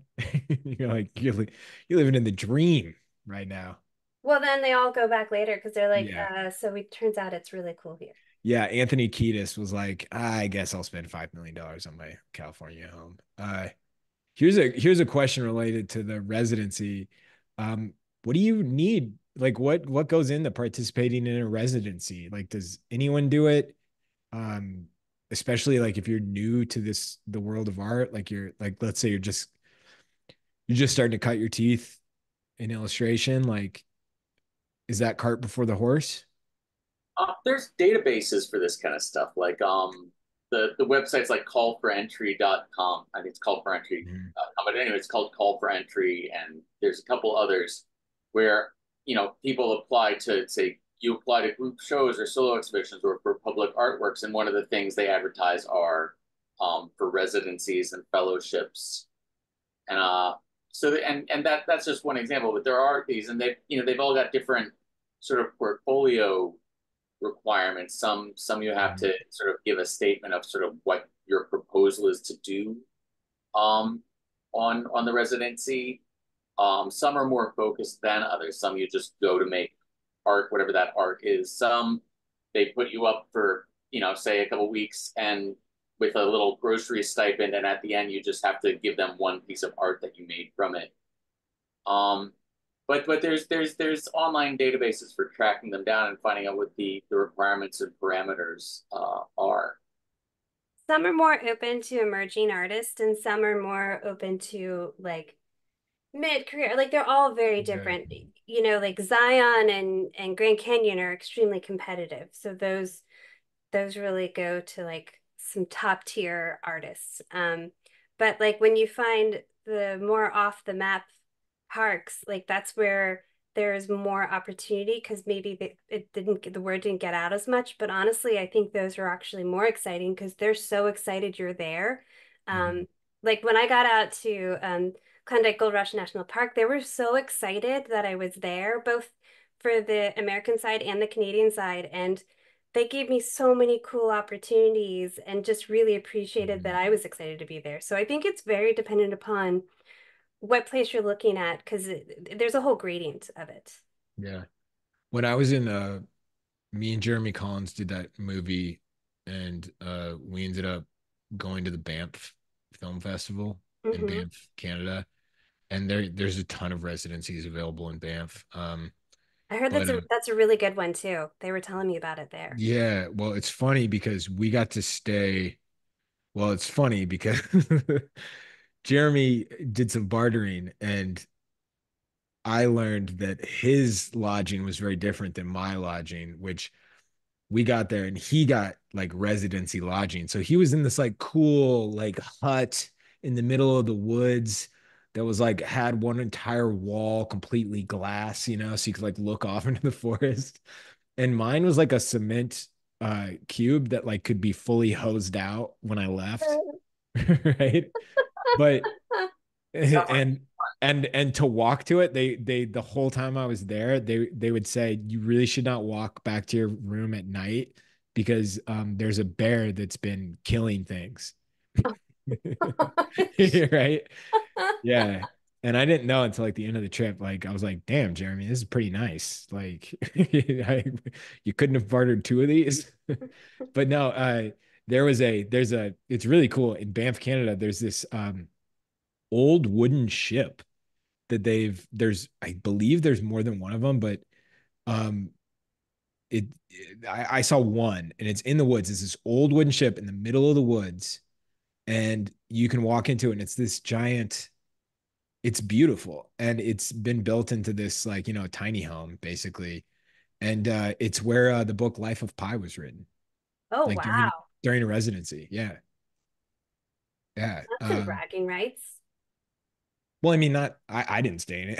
I But just I mean, just I being just like, walked, hey, you can see this cabin, Life of Pi was written here. I mean, I just don't know many other place, you know.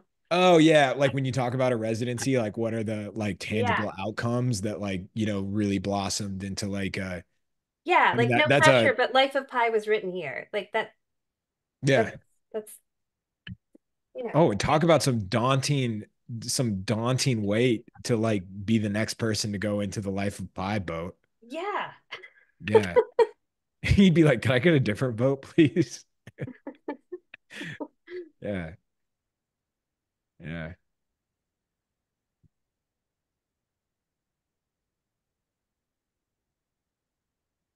I told y'all that I'm gonna try to go the simple route, and I, I, I lied. I was gonna say if that was simple. Um Yeah. wow. Wow. So I'm Oh, trying. These are some wacky shapes. I, uh, I, I like. I did the simple route, and I like. I did it. And I'm like, well, that's kind of cool. Here, let me But I, I don't know. Like, I didn't have the. I wasn't as satisfied, so then I like started doodling some of these funky shapes that were obviously way more detailed. Like I tried to simplify here, and I'm like, just I enjoy doing this more. So this felt a little mechanical. So yeah, now we're going a little bit more, a little bit more uh detailed than I had said I would. So yeah, I suppose that's how it goes sometimes. But it's looking cool. Thanks.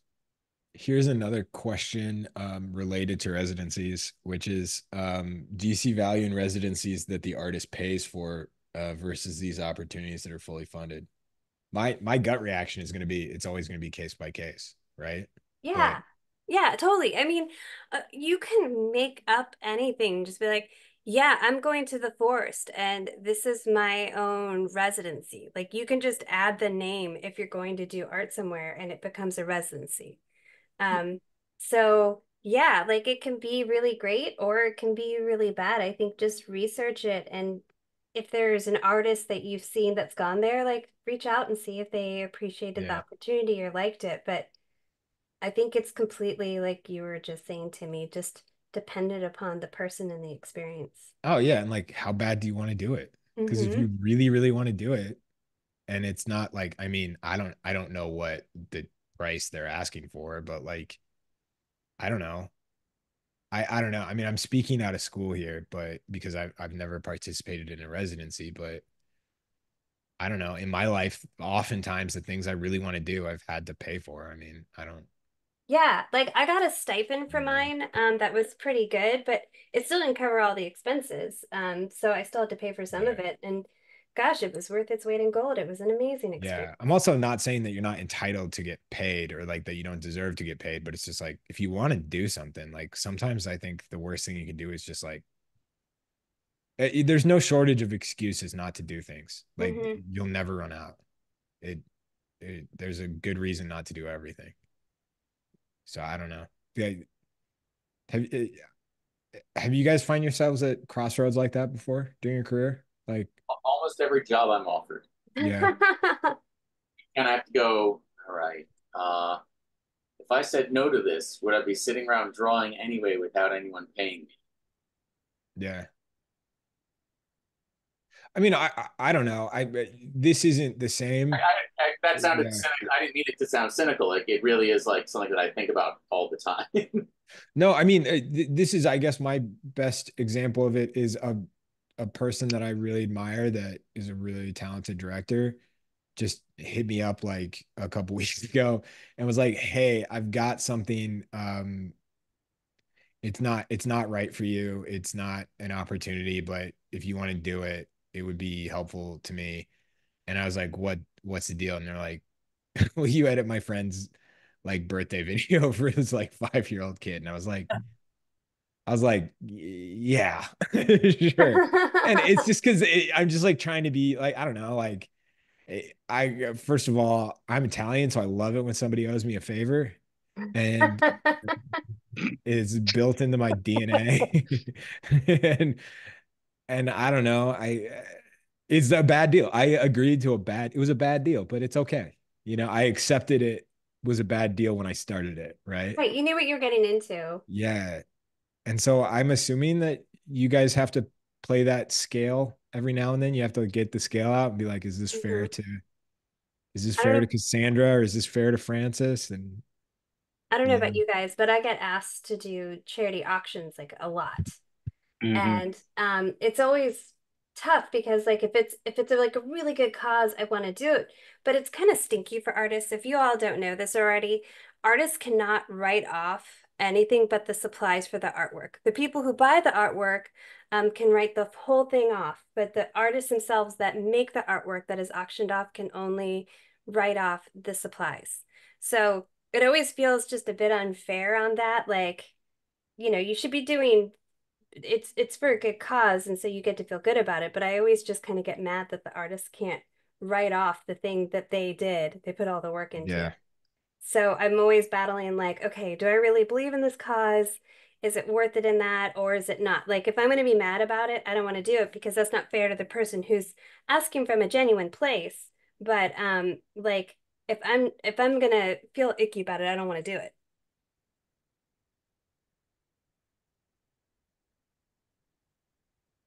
Oh. that's the kind of thing i always think about. What's like, does anybody have a project that just felt like it never ended?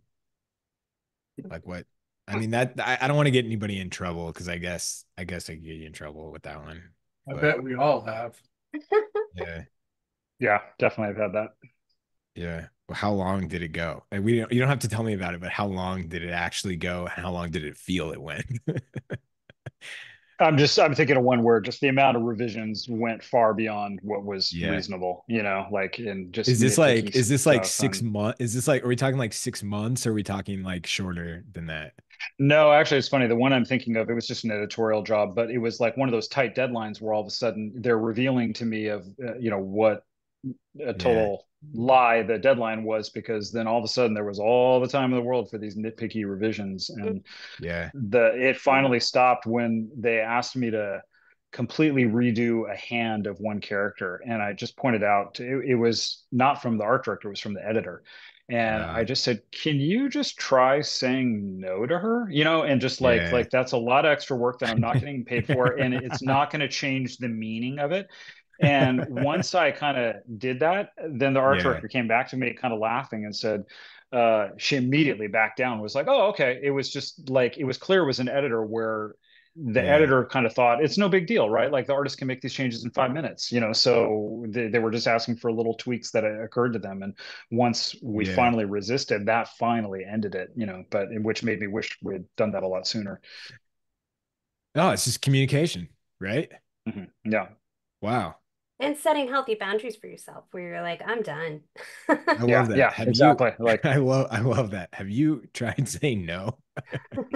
Early on, I had a six month project that after a year was still getting sketch revisions, and uh, so I I I stood up for myself, and uh, they they fired me and blacklisted me. oh Oh, mm, But I, I stood up. I wasn't rude. I actually just asked for more money. I was like, "Oh, this is a six month project, and I'm still working on my sketch advance a year later, and the revisions are starting to re- look like the things that got rejected 12 months ago. Like, so I something has to, you know, if I'm going to keep drawing, I think that the advance needs to change. And uh, so they they took 24 hours and told me that it was time to end our professional relationship. And uh, found it years later uh, that that I had been blacklisted and that designers weren't allowed to mention my name around there. What? Like 20 years later, 20 years later, Yeah. they apparently I was still not persona non grata. I thought we were the only I thought we were the only people doing that, Adam. I'm I sorry. know. I You know, the, know. the funny thing about that, Adam, is it's like, yeah, you wanted to work for them again. It's like, oh, Well, I mean, it's always you never know. You know, it's like uh, you don't want to like I I don't know. It's not you never want to burn any bridge. It's like I, I that's always I- been my attitude. Yeah, I thought I'd been pretty flexible. I mean, I had been pretty flexible. Was, you know, it was a 30 pa- 32 page book that I'd redrawn three times. yeah. It's tough. I mean, it's tough to be honest and not be emotional when you're being honest with someone. And the second you become emotional when you're being honest with somebody, it's like yeah, everything goes out the window. Like it, it makes coming to a meet like a middle ground really hard. I think. Yeah, and you know, the other thing you have to watch out for in, you know, in, Yeah. is uh getting advice from any of your other like friends or relatives who think they understand how business works. Yeah. They're not telling you they'll they'll give you advice that you go you, they don't realize how small your world is. No one does. Oh, And I so would I would argue everyone's world is smaller than they think it is. yes, right. Yeah. Yeah, dead on. Yeah, everybody's always like, you need to stand up for yourself. You need to da da da. like, We're negotiating. I, I yeah, exactly. Uh, that one thing I've learned is the most successful business people that I've ever met, like like absurdly successful. There were people that thought that they were their best friends, and the successful person couldn't stand them. Yeah, it's like the art of war. It's just, you know, it's the best revenge. Um, but I I don't know. That's that's that's always tricky. Na navigating that world of like negotiating edits and whatnot. I get that constantly with video where people completely in video it's always pipeline. People don't understand um certain things happen to have have to happen at certain stages.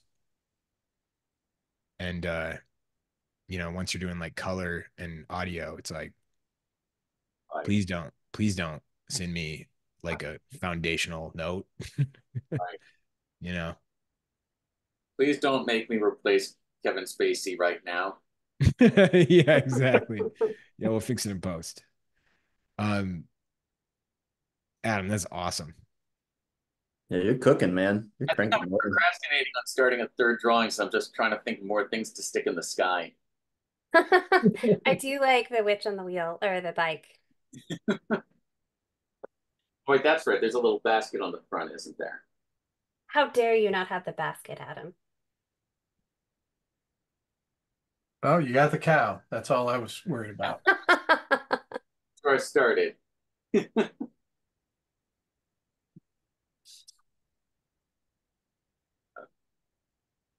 cow and the plaid. So my day is no. It's I've been working on this book where the main character is is a train, like a realistic train. It's not like Thomas the Train. So long. So like I was looking for it tonight because I was like humans. I'm gonna draw humans again. It's great. Well, and I'm also in the painting stage, so it's like it's it's weird when you're in in in these long projects where it's like there are months where I was just drawing and going, man, I need to make sure that I'm in shape for when I start paintings again. And then I've been working on paintings for two books back to back, and like kind of going, all right, do I remember how to draw though? That's kind of what I feel like tonight. I haven't used pastels in a long time. What have Yeah. you been using, John? I've been like different, tried done some mixed media stuff and done some straight up oil paints and uh, oil crayons, all kinds of stuff. Uh, just playing around. I've been using. I I I, I think Cassandra thinks this way too. This is like. This is like a gym for us. Yeah. Just come in here and play. we do it so much and I like that. What's your flat file looking like? You you have to have at least five hundred drawings or so. You know, the ones that are hanging up here, there's ten behind each one of them. And I just, you know, I put, I, I do something I like, I put it up there. And then I got a whole bunch of paintings that I haven't, they're just stacked behind me. Uh, but Cassandra, we've probably done well over a thousand. Oh gosh, I have so much like cardboard lying around with random people on it.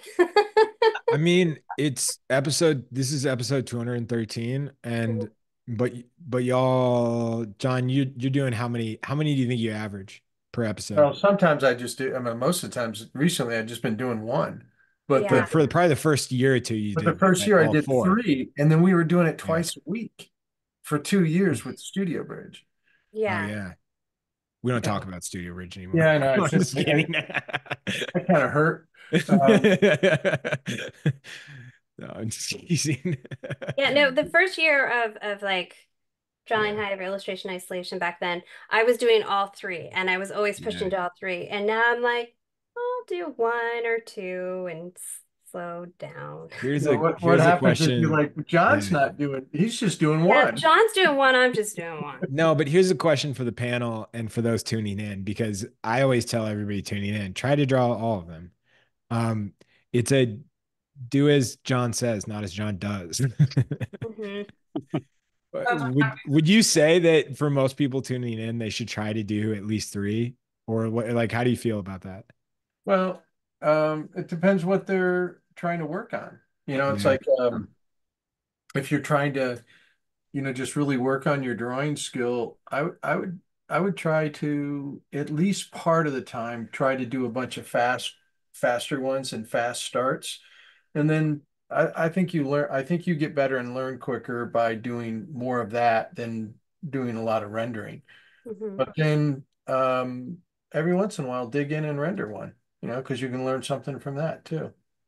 Um, Yeah, George would have us do the uh, when I was in school would have us do the um, movie drawings, film drawings, and we would have I forget how long it was, like 10 minutes to do a whole scene.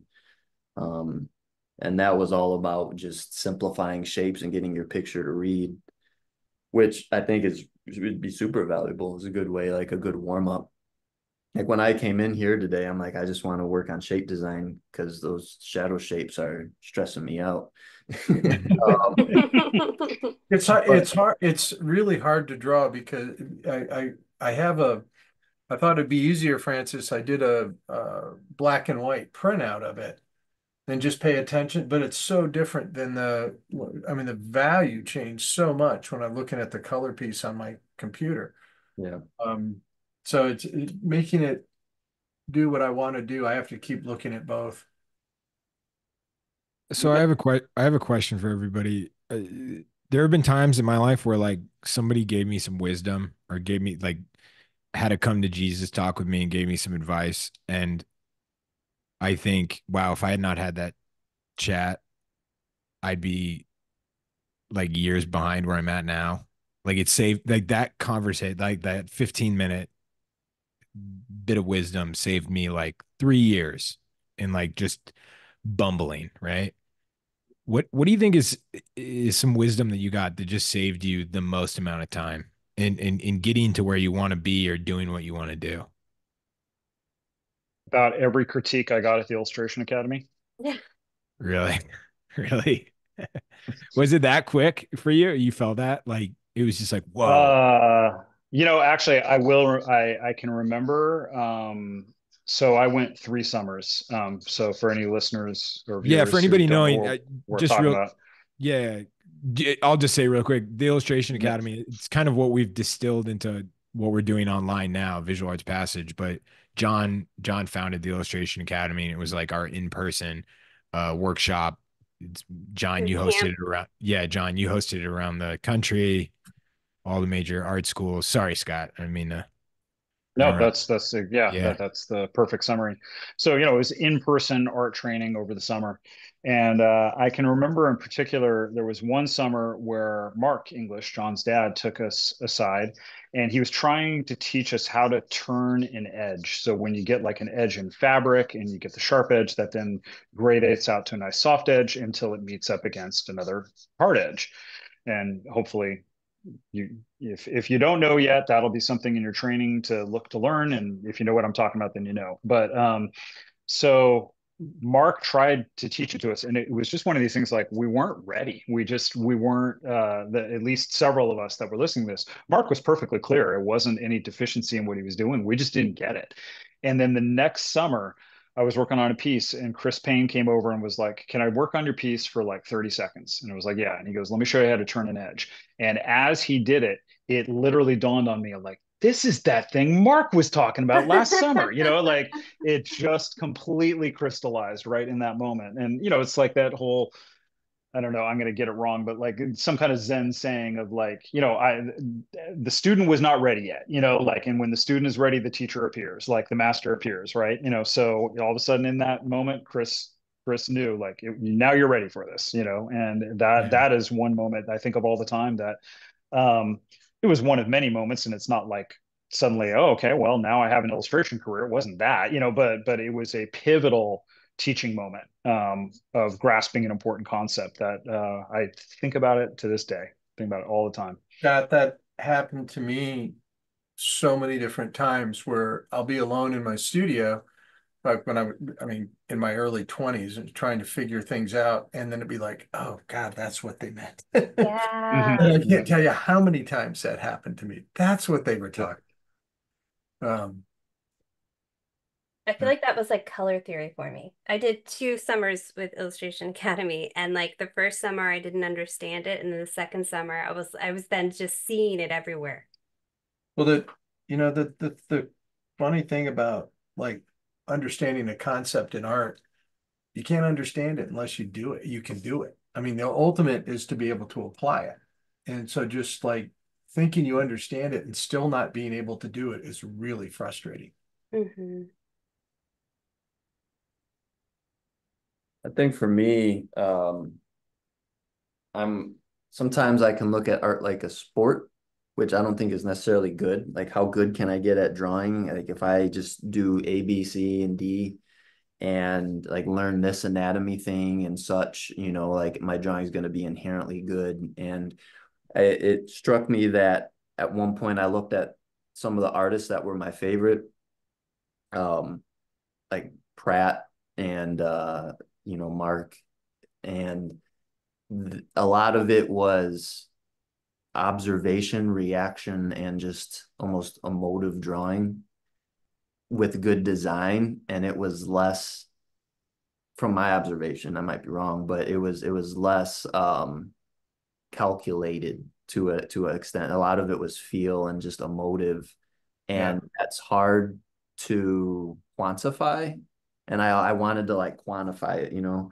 Um and when I catch myself trying to go down the like, well, I'm gonna handle this passage, which is informed by this 17th century artist, and you know, like this theorem applies to this little moment over here, that can really stiffen up a drawing. You know, that that's that's trying to quantify too much. And I think just I I just watch these artists and I have to constantly remember myself or remind myself about just the feel and trusting yourself.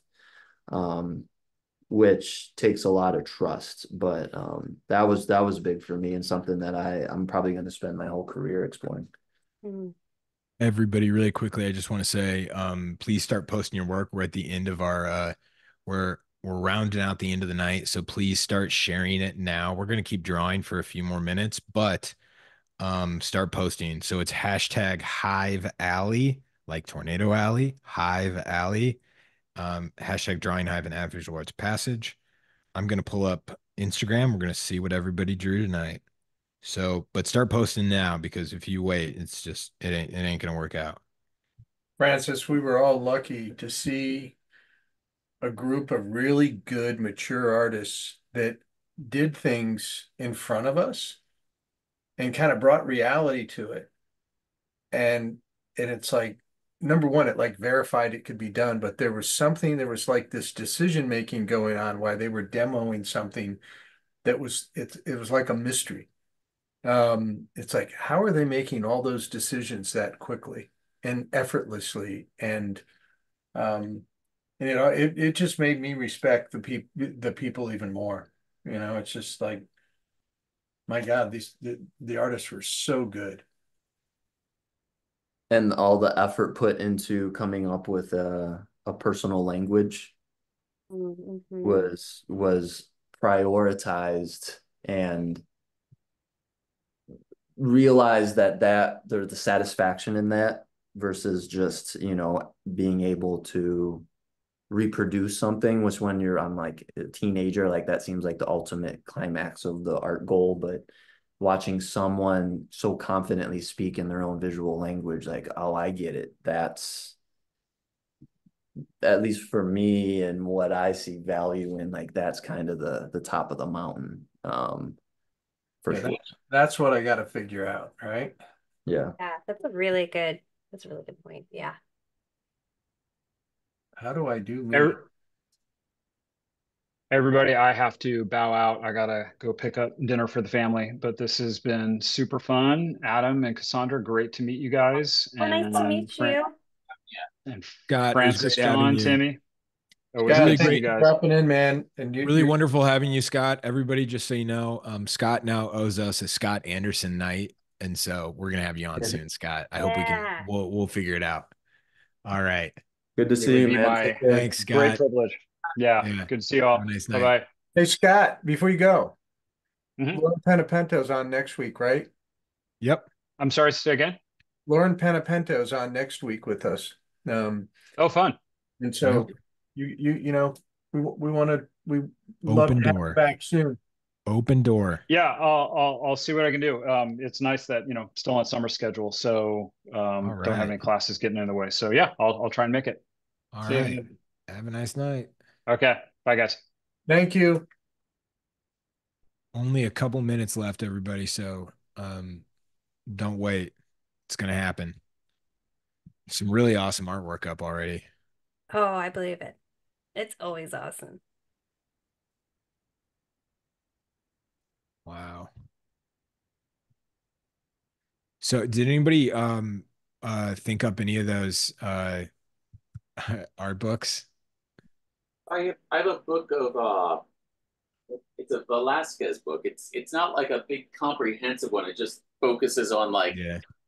maybe 24 pieces, but in real in really in depth. Like not just the art history side of it, but there's lots of close-ups to questions about, you know, his technique and the color he used and the way things are built up and like how fast or slow his background was put in and you know, sometimes whether or not an entire element of the picture had to change due to Spanish politics of that week. Um, but it, it's it's lovely to get up close to to his technique because you know you're in this you know 16th or you know the 17th century like the world is very much about like glazing and scumbling and glazing and slow build up and lots of layers and then there's other areas where he gets really immediate with his paint um depending on the painting and depending on on you know the subject or the part of the Mhm. painting uh it's it's it was kind of like a real eye opener to sort of look through so it's one of those it's one of these books that I've had for a while that just never gets old when I pick it up. Everybody, here's something fun. Who did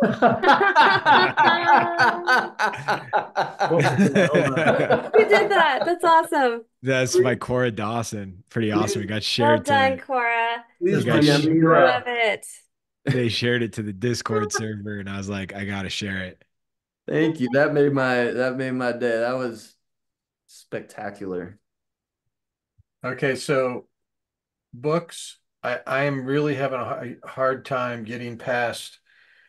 I keep reverting and going back and looking at my Bernie Fuchs book. I Mm. cannot stop looking at that thing. Um, it's an amazing book. Uh, recently I just got a gifted a really beautiful book by the artist George Carlson, sculptor and painter. It's a, s- it's a phenomenal book. Phenomenal artist. All right, are you guys ready? We're doing it. We're going It's there. gonna happen. It's happening. Right meow. Yeah, right meow. I think it's happening. Okay, now it's happening. Or is it a tease where you pop it up Yeah, and then we no, all get quiet and then it goes? Yeah, no, it's happening. It's happening. All right, let's check this out. Oh my gosh, yeah. All right. Good start. All right. Oh, that's fantastic, Jeff. Awesome stuff. Look at that chin. Oh yeah. Ooh, I love how you did that. Oh, Love cool. it. Good stuff. Oh, nice. Oh, really? Randy, That's cool. which What's up, Francis, Randy? Francis, you might want to know this, but uh um your uh your young Padawan, Nate, was on he was one of our first guests. Nate Schweitzer. Nate is uh is a monster, and I try to make Yeah. him as good as that kid. That that that kid is a monster. Yeah. that- I was That's talking awesome. with Randy. I spoke with Randy yesterday and I was like, yeah, I'll I'll let Francis know. yeah. He was a great Oh, first guest. Beautiful. Really great Uh, job. really great stuff. Awesome. Great job. Oh, I like that you put it all together. Uh-huh. Nice, Paul. Yeah. Terry, It's fun. you know what? Ter Terry's doing Iron Man today. Oh, nice. Yeah, Right. Wow. Wow. awesome. Very nice. Great job. Nice, Wow. Leslie. Good stuff. All over everything's everywhere. Great Uh-huh. job. Really Oh, nice. Nice, Padma. Very Good nice. gestures. Very good. Yeah. Good stuff. Cool. Job. Hey, Nicole. Nicole. All right. Nice, Killing- Felicity. Felicity, nice. Age 13. Wild. Felicity- Very cool. Felicity's been drawing with us for four years. yeah. Oh, that's great. I love the perspective you chose on that. That's Yeah. fun. We're all trying to get as as many crunches as this guy does every day. Fantastic. yeah. Uh, nice. Ooh, that's lovely. Awesome. Really nice.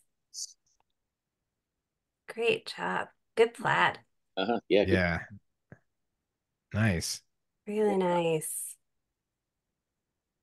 Nice, Good Terry. job, Terry. And she's doing Iron Man. Yeah, Yeah. hardcore. Cool. Ooh, Karen, that's lovely. That's really wow. Really nice. nice. Wow. Padma. Jeff. Great job, Jeff. Ooh, lovely. Love this. Purple. Really is. Right. Great job. Open. Mm-hmm. Awesome. Love it. Always good. So Gary. good, Gary. That's Always always so brings good. it.